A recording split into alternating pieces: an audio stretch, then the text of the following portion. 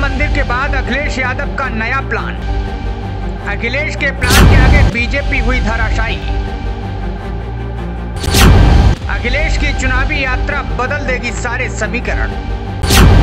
BJP को सता रहा डर हो जाएगा सुपड़ा साफ़। आपको बता दें, सभी राजनीतिक दल इस साल होने वाले लोकसभा चुनाव की तैयारियों में जुट गए। बीजेपी तो पहले से ही तैयारी में जुटी थी। अब समाजवादी पार्टी भी उत्तर प्रदेश में इलेक्शन की तैयारी कर रही है। इसी बीच सपा के राष्ट्रीय अध्यक्ष और पूर्व मुख्यमंत्री अखिलेश यादव ने इंडिया गठबंधन की जीत को लेकर बड़ा दावा किया है। आपको बता दें कि अखिलेश यादव पहले तो बोलते नहीं है और बोलते हैं तो बड़े नाप के और तौल के बोलते हैं। अखिलेश यादव के मुताबिक इस साल होने वाले लोकसभा चुनाव में इंडिया गठबंधन उत्तर प्रदेश में अच्छी सीटों पर जीत दर्ज करेगा।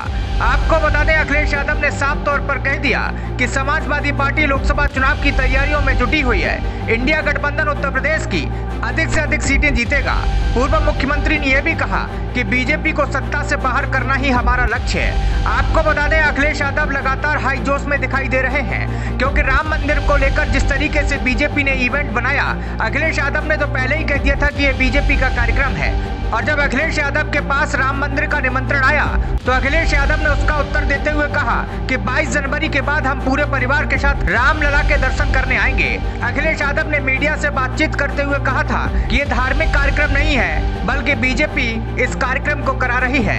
अखिलेश यादव के जानते हैं कि राम मंदिर पर कुछ भी बोलकर लोगों की भावनाएँ आहत हो जाएँगी।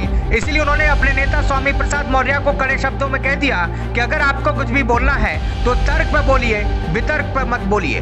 आपको बता दें, अखिलेश यादव ये जानते हैं कि उत्तर प्रदेश में अगर बीजेपी को हटाना है, राम मंदिर से अलग मुद्दों पर भी ध्यान देना होगा। इसलिए अखिलेश यादव इन दिनों पीडीए का नारा दे रहे हैं। पीडीए मतलब पिछड़ा, दलित और अल्पसंख्यकों को साथ लेकर अखिलेश यादव जोड़ने की तैयारी में जुटे हैं। आपको ये भी जानकारी दे दें कि अखिलेश यादव जनवरी के अंत में अपनी यात्रा की घोषणा भी कर सकते हैं।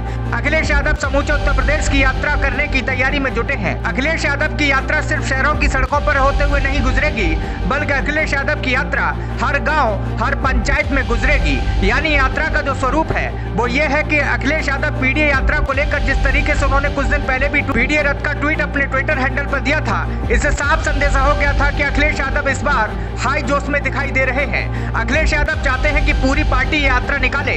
अब इस यात्रा का डिज़ाइन ये निकल के आया है कि अखिलेश यादव तो यात्रा करेंगे साथ में प्रदेश अध्यक्ष से लेकर जिला अध्यक्ष तक और ब्लॉक स्तर पर यह यात्रा जाएगी। अखिलेश यादव जानते हैं कि पिछड़ा दलित अल्पसंख्यक, यानी यादव मुस्लिम और दलित वोट बैंक मिल गया तो बीजेपी को सत्ता से बाहर निकाला जा सकता है। आपको इसी कड़ी में अखिलेश यादव ने अपने प्रत्याशियों की लगभग घोषणा कर दी है। बस अनाउंसमेंट करना बाकी है। चाचा शिवपाल को आजमगढ़ भेज दिया है। बदायूं से सांसद धर्मेंद्र यादव चुनाव लड़ेंगे। साथ ही मैनपुरी से डिम्पल यादव और खुद अखिलेश यादव कन्नौज से चुनाव लड़ेंगे।